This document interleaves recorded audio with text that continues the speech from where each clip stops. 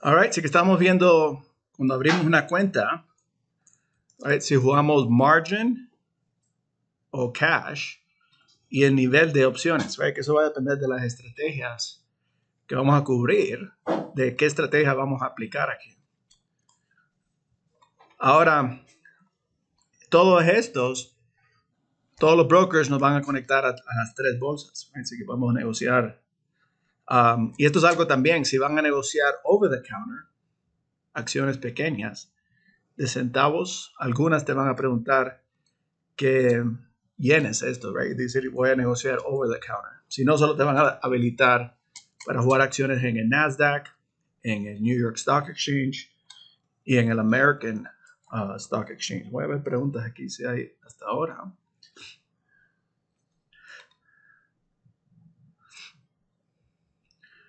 Correcto, sí, porque um, Thinkorswim es TD Ameritrade. Sí, así que Thinkorswim, TD Ameritrade, porque Thinkorswim es la plataforma. Porque e, esta plataforma se llama Thinkorswim que es de TD Ameritrade. Porque TD Ameritrade, cuando abres una cuenta, puedes hacer trading directo de la plataforma de TD Ameritrade o de esta plataforma que puedes descargar en tu escritorio que tiene más herramientas. Okay, TradeStation, igual, TradeStation tiene la opción de descargar la plataforma a tu computadora o hacerlo directo desde la versión web aquí. Okay. Y para todo lo que vamos a hacer, no tienes que pagar la mensualidad. Um, Thinkorswim te da gratis su desktop version. Esta plataforma de TradeStation tienes que descargar y si te cobran, eh, dependiendo la, la plataforma que vas a usar. Pero web version es gratis y puedes entrar, no tienes que descargar nada y puedes entrar desde cualquier uh, platform. All right, así que cuando compramos acciones, estamos comprando y vamos a convertirnos parte de dueño de la empresa, porque cada empresa tiene emitida X cantidad de acciones y cuando compramos acciones, ganamos de la fluctuación de esa acción. Por ejemplo, si yo compro Apple a un precio a 140 y la vendo en unos 50, gané 10 dólares por acción, multiplicado por la cantidad de acciones que tengo. Ahora, también cuando tienes acciones y las aguantas a largo plazo, dependiendo de la empresa, también puedes ganar dividendos. Hay que te depositan automático. Eh, para los dividendos tienen cierta fecha que tienes que ser dueño para recibir el, dividendo. Hay que son y te lo depositan directamente en tu cuenta. Ahora, cada acción tiene lo que se llama un ticker symbol. Okay. El ticker, puede ser de una hasta cinco letras, es la forma que buscamos la acción en el gráfico, igual la forma que compramos la acción. Por ejemplo, si yo quiero negociar Apple, sería AAPL. Eso fue asignado cuando Apple se registró a la bolsa y la única empresa que puede tener ese símbolo sería Apple, Microsoft, por ejemplo, MSFT, uh, General Electric, City. Okay. Ahora, para gráficos, hay que vas a hacer tu análisis, uno fundamental, dos de gráfico, que te vamos a enseñar a ver las dos cosas. Por ejemplo, TradingView y Investing.com son dos muy buenos lugares para gráficos y es gratis. Por ejemplo, puedes abrir TradingView. TradingView tiene una versión gratis y tiene una versión pagada, dependiendo cuántos indicadores vas a colocar en el gráfico. Um, investing.com ahí tiene la versión completamente gratis, pero te ponen uh, publicidad. Uh, stock charts también puedes usar y Big Charts para gráficos. Aquí, por ejemplo, CNBC y Finance.yahoo, muy buenas páginas para ver información que vamos a estar usando durante el curso. El que más me van a ver utilizar va a ser TradingView. Siempre estamos aquí en TradingView. Este es TradingView. abres una cuenta gratis. Um, de ahí tienen una versión pagada si quieres. Uh, creo que la gratis te deja hasta tres indicadores. Y de ahí si vas a poner más de tres indicadores, vas a utilizar la versión eh, pagada. Ahora aquí vas a poner el símbolo, lo que habíamos hablado, por ejemplo, Apple, y podemos ver el gráfico de Apple. Y voy a quitar aquí todos los indicators por ahora. Y de ahí vamos a ir agregándolo. Y la ventaja de TradingView que puedes utilizar los indicadores que están, más puedes agregar indicadores. Ok, si tú, por ejemplo, varios indicadores que hemos creado, lo puedes agregar a la plataforma, que les voy a dar varios ahí, como el Master Indicator, el Quantum Indicator, que puedes agregarlo al gráfico. Ok, ahora, aquí es como se mira un gráfico básico, vamos a hablar de las velas, right? vamos a hablar de las temporalidades, donde podemos cambiar dependiendo del análisis y las perspectivas de trading. Si estás haciendo trading a largo plazo, porque algo que vas a hacer es decidir qué, estilo de trading, si vas a hacer un day trader, entrar y salir a corto plazo, o si vas a ser un swing trader, eso va a afectar la temporalidad que estás ah, vigilando en el gráfico. Okay. Ahora, en los gráficos, okay, lo primero que vamos a analizar son los índices.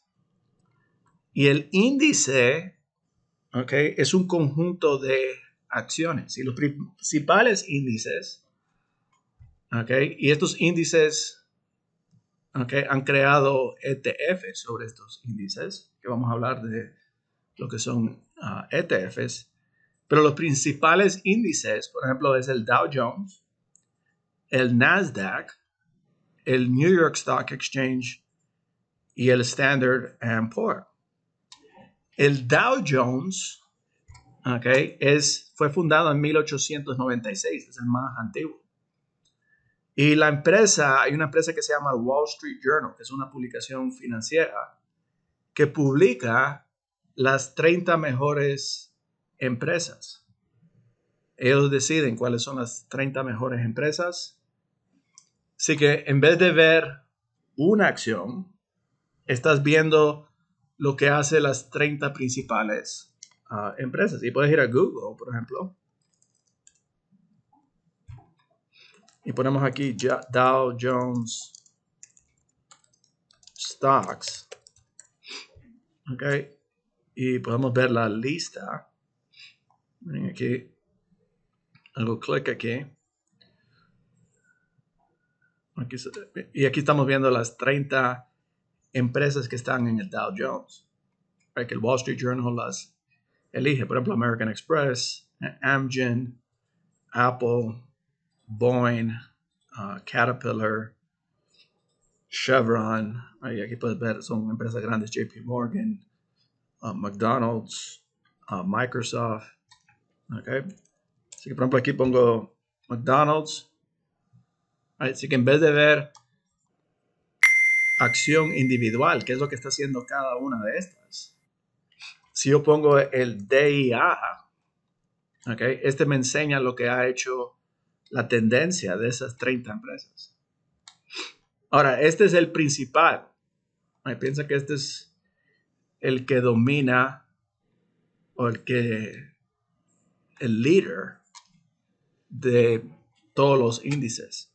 Que es uno de los primeros que vamos a analizar. ¿Y para qué usamos estos índices? Uno, lo puedes negociar al índice para la dirección de la bolsa. Si tú piensas que el Dow va a seguir creciendo, o el DAO va a bajar, puedes jugar esta como una acción o puedes jugarlo como una opción. O lo usamos que vamos a aprender cómo determinar la tendencia de la bolsa y ver diferentes patrones. Así que el Dow Jones son las principales 30 empresas. Okay. Otro índice que vamos a ver y se calcula, tienen una calculación donde suman el precio y por eso cuando miras, por ejemplo, si vamos a CNBC, voy a CNBC y recomiendo que descarguen esta aplicación en tu teléfono. Okay. Y aquí me dice que ha hecho Dow, Hoy está casi lateral, Estamos, subió cuatro puntos el Dow y dice 0.01 en por ciento. Así que es casi nada de movimiento. Ha estado bien eh, lateral. Okay. Y van a aprender que hay ciertos meses que la bolsa tiende a ir lateral. Por ejemplo, agosto tiende a ser uno de los peores meses del año. August, um, muchos están en vacaciones, uh, los niños están regresando a school, al colegio. Um, historialmente, que van a aprender seasonality, octubre a diciembre son los meses más uh, fuertes. agosto y lo primero de septiembre tienen que ser eh, laterales aquí. Es lo que estamos viendo, casi lateral todo el mes de agosto con el retroceso. Ahora, aquí vamos a ver el segundo índice, se llama el SP 500. Okay. Este tiene, el Dow Jones solo tiene 30 empresas. El SP 500 tiene 500 empresas. Así que representa un poquito más gráfico y esa acción la podemos ver aquí que se llama el SP 500. Okay. SP Y que vas a ver la tendencia de las 500 principales empresas. Okay, que hemos visto obviamente todo este año ha sido uh, alcista. Desde enero tuvimos la subida, puedes ver febrero, marzo y de ahí marzo hasta julio. Ahora un retroceso, pero todavía la tendencia, vamos a aprender determinar la tendencia, todavía la tendencia es uh, alcista. Y van a aprender cuando podemos ver que si se cambia la tendencia. Es lo primero que vamos a determinar. Y para eso vamos a usar estos índices, como el SP500, el Dow. Vamos a analizar el siguiente que también se llama el Nasdaq. Okay. El Nasdaq, este tiene compañías las top 100 de tecnología. El índice tiene 2.840, pero en el ETF, solo coloca, que es el QQQ, solo colocan las 100 principales de tecnología. Así que si yo miro el QQQ, ese es casi 100% technology. Así que dependiendo de lo que tú piensas que va a ser la...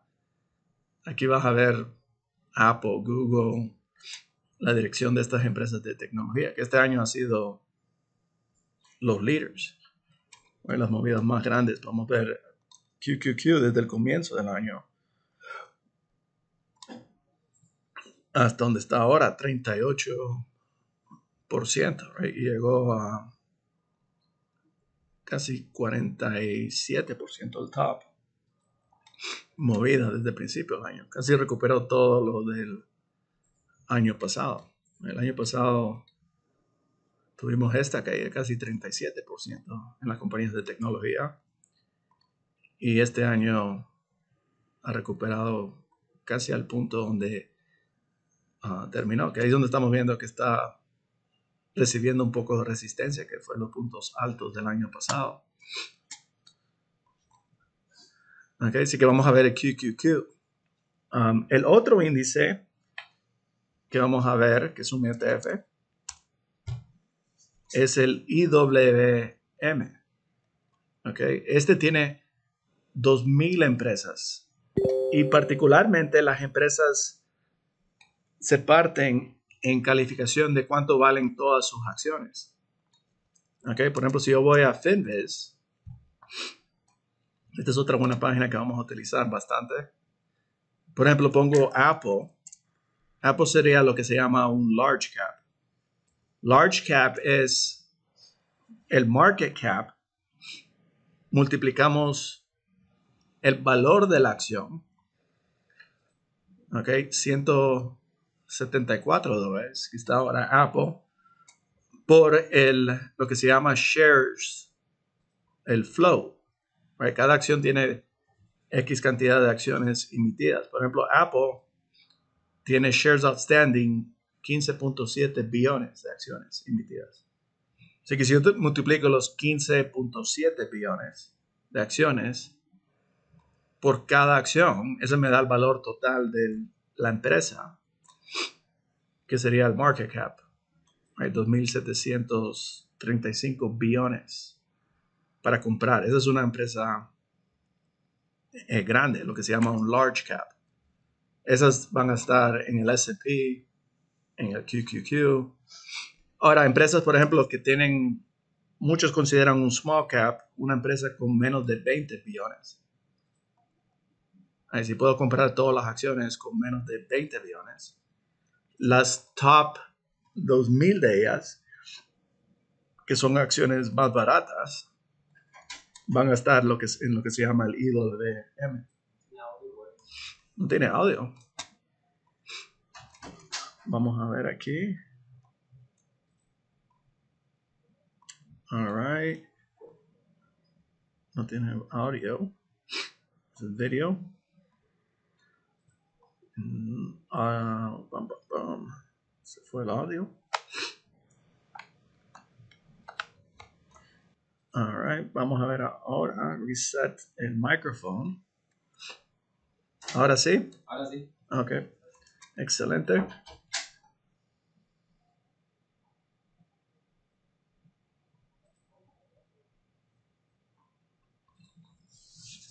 Perfecto, ahora sí hay audio. Ok, así que ahí podemos ver el Nasdaq. Así que estos son los principales índices que vamos a utilizar para determinar la acción. Por ejemplo, si estás negociando acciones pequeñas, dependiendo de lo que te diga este gráfico, ¿no? tendencias, vas a ver el momento de entrar en el IWM. Si vamos a negociar a precios más grandes, vamos a ver, por ejemplo, el SPY o el QQQ, el Dow Jones. Vamos a ver las tendencias de estas acciones. Ahora, si vas a negociar acciones de centavo, las tendencias la vas a ver en el IWM, dependiendo en cuáles acciones vas a negociar.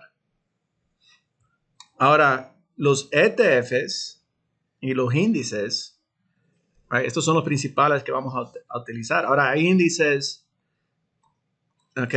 El índice es el conjunto de acciones. Y el ETF es la acción, es la colección de acciones yo puedo comprar, en vez de comprar una acción, compro la colección. Por ejemplo, el SPY es como si estuviera comprando las 500 principales empresas. Y hay un montón de ETFs. Hay un ETF de casi todo. Vimos los principales, el, el SP, el QQQ, el IWM. Este tiene 30 empresas, 2000 las 100 principales y las 500 principales. Ok, esto lo vamos a usar para la, la dirección. Pero también podemos negociar índices que son apalanqueados. Por ejemplo, SPXL es triple el SP.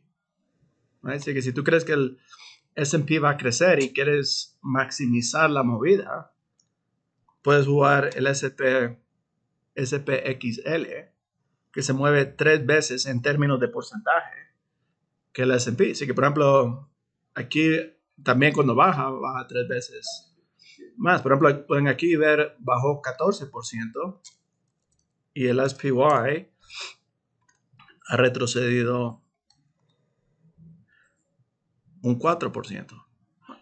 Así que es triple la, la movida. Eso siempre 70-30.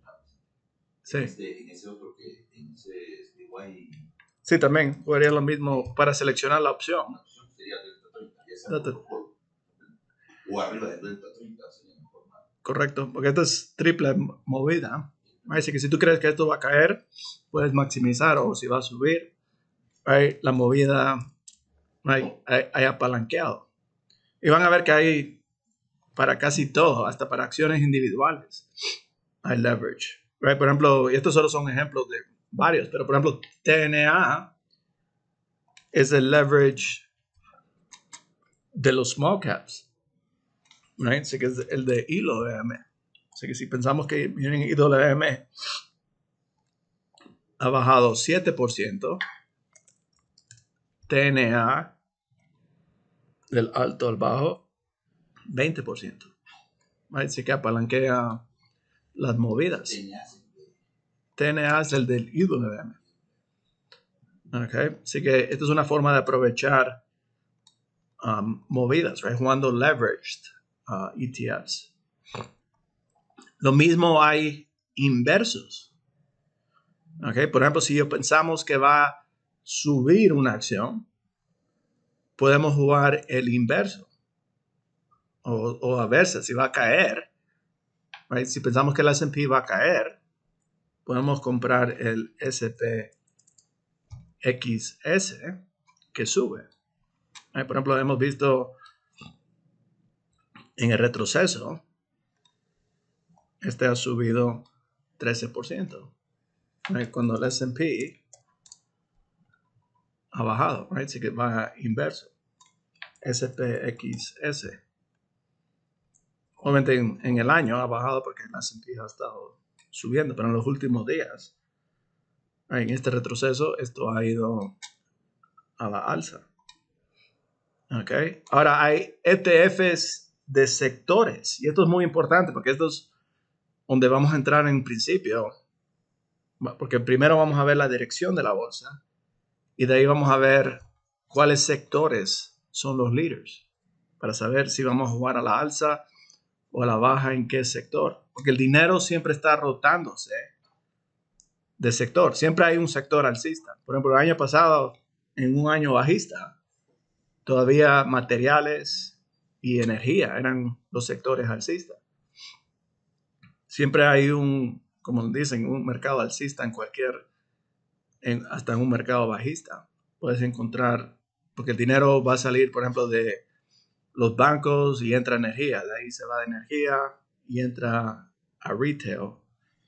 Casi todo este año se ha mantenido en tecnología, pero eventualmente va a rotar a otro sector, eso es lo que se llama sector rotation. Así que aquí yo puedo ver la tendencia por ejemplo, si pongo XLF, estos son los bancos, los financieros, que este año han estado casi lateral. Eh, al principio del año, este fue uno que más bajaron por toda la crisis bancaria que hubo cuando los bancos estuvieron en peligro al principio y aquí han estado todavía dentro del rango del año, pero no han tenido una tendencia. no han sido el mejor sector para comprar. Por ejemplo, el año pasado, energía fue fabuloso, tuvo movidas enormes. Miren, de 2022, ahí fue el único casi sector que estuvo ah, alcista y de ahí ha ido lateral desde el año pasado y está empezando a agarrar eh, fuerza, energía. Así que tenemos que buscar de todos estos sectores a dónde vamos a entrar. Porque tenemos financieros, industrials. Industrials son empresas que producen como maquinaria, aviones. Ahí estaría como Caterpillar, Boeing, cualquier cosa que ah, produce. Este año ha sido junto con los tecnología todavía ha sido más fuerte, pero esta también ha estado en tendencia alcista, los industrials.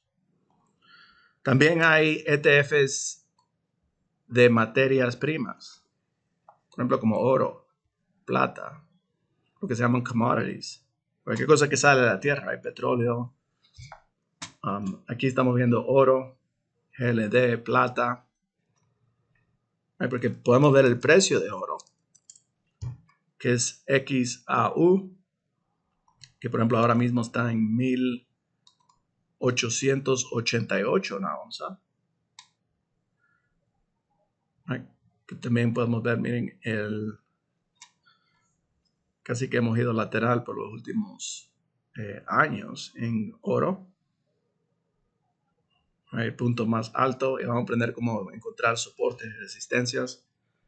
Pero si yo quiero jugar oro, puedo comprar una acción que se mueve con el precio de oro, que sería GLD. Lo mismo, XAG es el precio de plata. Aquí puedo ver a cuánto está cotizando una onza de plata. Por ejemplo, está en 22.64. Si yo quiero comprar una acción que se mueve con el precio de plata, sería SLB. Así que hay casi para cualquier cosa que quieres comprar, hay un ETF. Por ejemplo, para petróleo crude oil. Ahí está palanqueado petróleo, right? Gosh. Y miren ahora, el petróleo está empezando a subir en las últimas semanas, right? Desde junio, julio y lo que va de agosto, podemos apalanquear la movida del petróleo, right? Aquí estamos viendo, por ejemplo, Gush, que está empezando a caminar o USO, que es una forma de jugar el petróleo. El año pasado, obviamente, con la masiva movida, este ETF subió casi el 100%. Y puedes comprar acciones de estos ETFs o podemos jugar las opciones sobre las acciones que vamos a aprender para apalanquear la posición. También hay ETFs de divisas. Por ejemplo, si pensamos que el euro, el dólar canadiense, el dólar americano. Ahora, el dólar americano, el ETF es UUP, pero el índice es DXY. Okay. Y este es a lo mejor el gráfico más importante que vamos a analizar para determinar tendencia. Miren, si miras el S&P, okay, miren este último retroceso ha coordinado con esta subida del dólar. La bajada del dólar, miren, desde que empezó a caer el dólar,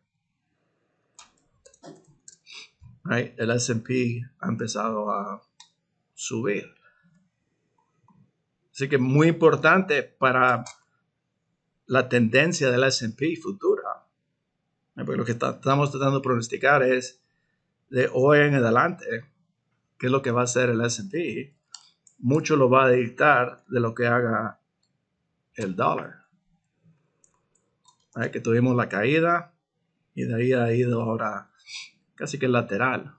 Todavía estamos haciendo puntos bajos más bajos y altos más bajos. Y queremos que si quieres una bolsa alcista, este es el gráfico que estamos siempre analizando. Lo más importante, por ejemplo, el, lo que haga el dólar y lo que hace las tasas de intereses de los bonos de los últimos 10 años. Miren dónde está ahora, 4.3. Estamos en un lugar muy importante. Miren cómo estamos en el punto.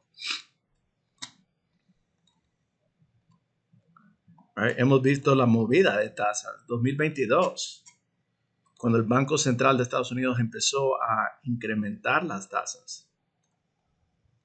Fuimos de empezar el año 2022 casi un por ciento y medio. Y lo más que llegó el año pasado fue 4.3. Obviamente la bolsa le gusta tasas bajas. Así que para predecir la movida va a ser basado lo que hace la tasa. Así que todo el mundo está tratando de predecir qué lo, hasta dónde va a llegar el Banco Central, que eso va a depender que han subido la tasa para combatir la inflación. Hay subida de los precios. Ahora, ayer, en los minutos, dieron indicación que todavía podría haber más incrementos. Y por eso hemos visto esta subida. Ahora, ¿hasta dónde? Así que aquí estamos, vamos a ver si puede superar este alto. Este, este va a ser un techo importante aquí. Igual, para ver la bolsa continuar alcista, esto va a tener que empezar a caer. Si esto sigue subiendo, el S&P va a seguir este retroceso. Así que los gráficos más importantes ahora es ver el TNX y ver el dólar. Okay. El momento ideal, por ejemplo, para abrir una transacción, cuando miras que el dólar empieza a caer, y el TNX empieza a caer, eso es lo que le da la fuerza para el SP empezar de nuevo a, a subir. Ahora, en, mi análisis, obviamente yo creo que estamos muy cerquita. No creo, por la deuda, aunque el Fed diga lo que quiera y diga que quiere seguir subiendo por combatiendo. Uno, la inflación estos son números importantes, Por ejemplo, si vas a Forex Factory, ah, hace unas semanas tuvimos el CPI de Estados Unidos, que es el Consumer Price ah, Index, el Producer Price Index y el Consumer Price Index. Okay. Que pueden ver ahí la subida de tasas de intereses frenó este incremento de precios, porque el año pasado estábamos en niveles más altos que habíamos visto en casi 40 eh, años. En 9% de inflación. Este año estamos en 3.2, así que obviamente sí ha ayudado los aumentos a frenar la inflación. Así que yo creo que ya estamos muy cerquita Obviamente el miedo del, del Fed es que esta inflación podría empezar a subir, obviamente si la energía continúa alcista, porque el petróleo puede impactar, aunque las, están subiendo las tasas, pero si el petróleo empieza a afectar, obviamente energía, idealmente quieren ver que energía también empiece a, a caer. Y hemos visto energy empezar a subir eso podría causar otro incremento de, de rate. Así que todo es lo que uno analiza, TNX,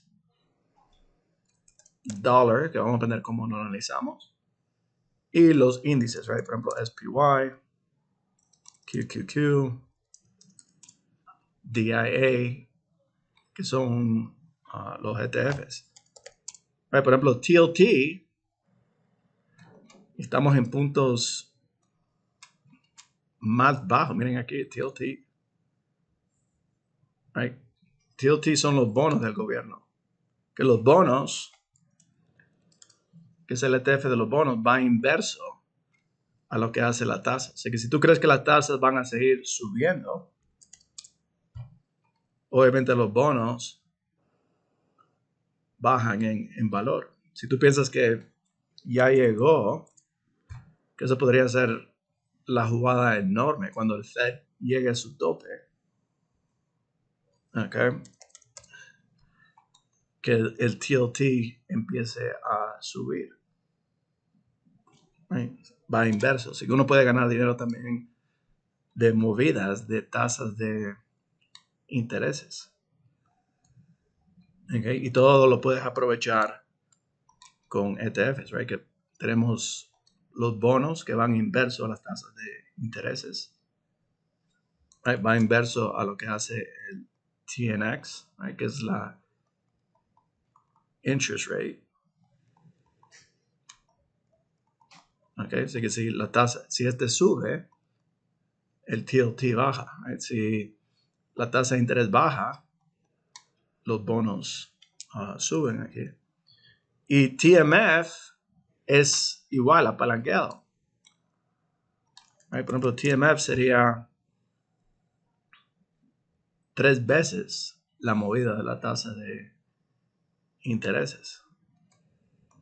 Así que, por ejemplo, el año pasado tú miras, ok, el Fed empieza a subir la tasa de intereses. Puedes jugar a la baja los bonds. Ahora, casi siempre cuando se acumula, hay un report que estaba, les voy a compartir hoy, está la mayor cantidad de shorts, quiere decir, shorts quiere decir gente que está jugando a la baja, en los bonos en historia. Así que la posición más grande de short en historia, que eso tiende a ser los puntos de reverso. Cuando demasiada gente se acumula short, es cuando ya ocurrió la movida y ahí es donde tiende a ver los uh, reversos. Porque la multitud o los speculators casi siempre están incorrectos, se sobreposicionan en un lado o el otro. All right. Así que estos son ETFs. Y esto es la fundación, porque esto es lo que vamos a determinar la tendencia, porque queremos ver un conjunto de análisis, right? viendo los índices right? del S&P, del QQQ, del IWM, viendo lo que hace el dólar, viendo lo que hace el TNX para determinar la tendencia de la bolsa.